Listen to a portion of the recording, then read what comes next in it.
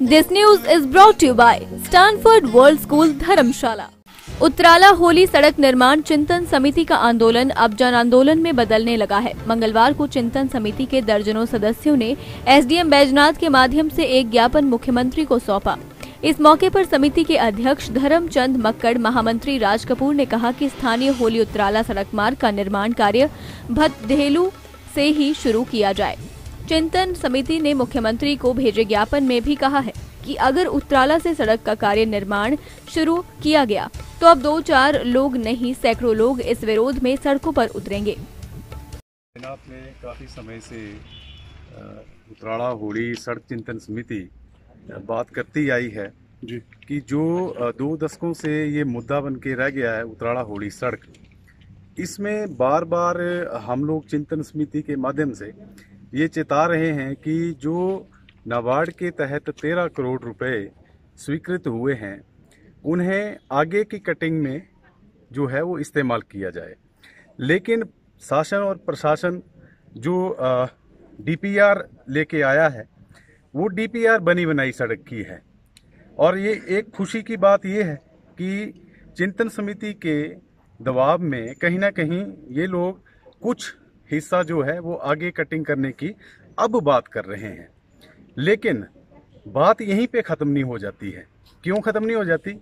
क्योंकि जो बनी बनाई सड़क है, अगर आप उसी को लीपा पोती करते रहेंगे, चाहे वो नौ किलोमीटर करेंगे, चाहे वो दस किलोमीटर करेंगे तो जो दो धारों की कनेक्टिविटी की बात जो दो दशकों से हो रही है, वो कैसे होगी?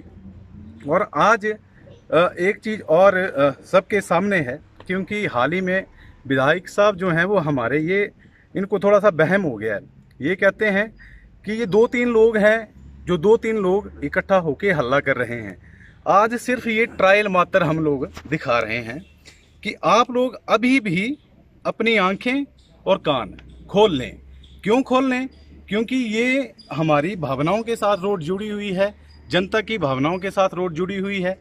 अगर आप बनी बनाई सड़क पे लिपापोती करेंगे तो आज तो ये कुछ लोग दिख रहे हैं, ये मल्टीप्लाई होके कहीं ऐसा ना हो कि आपको लेने के देने पड़ जाएँ।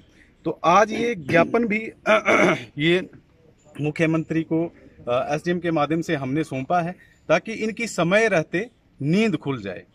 जी। उसमें ये खुशी की बात है हमारे लिए भी और जनता के लिए भी कि जो हमने आवाज़ उठाई है चिंतन समिति के माध्यम से उसके दबाव में आज ये दो महीने के बाद बात की जा रही है कि तीन किलोमीटर की कटिंग करेंगे। तीन किलोमीटर की अच्छी बात है कर रहे हैं लेकिन नौ किलोमीटर के ऊपर लिपापोती क्यों कर रहे हैं?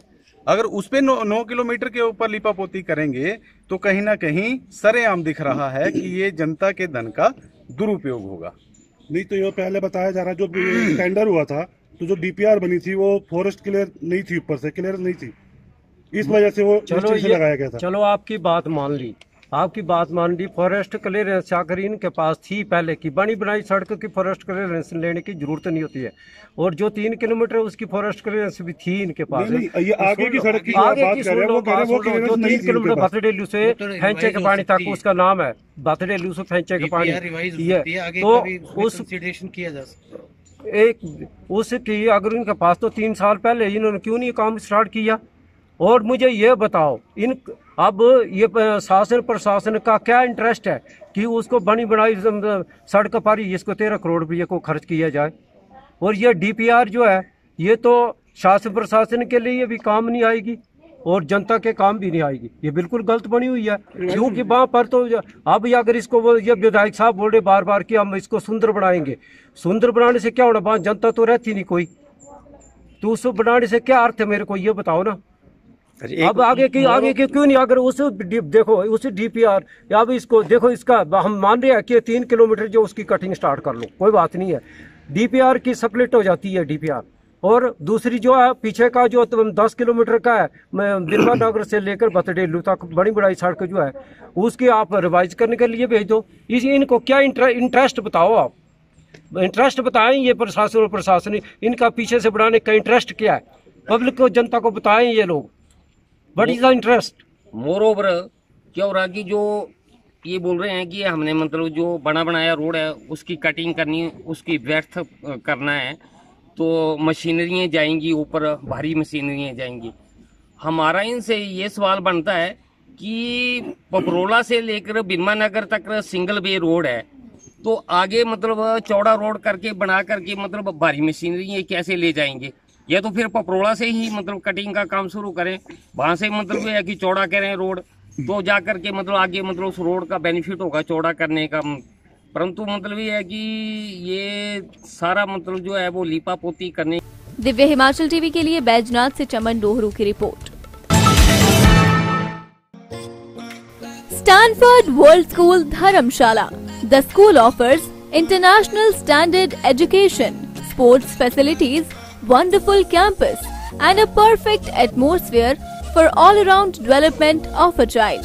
Admissions open from nursery to 8th. For more information, call us on 766 90 45 448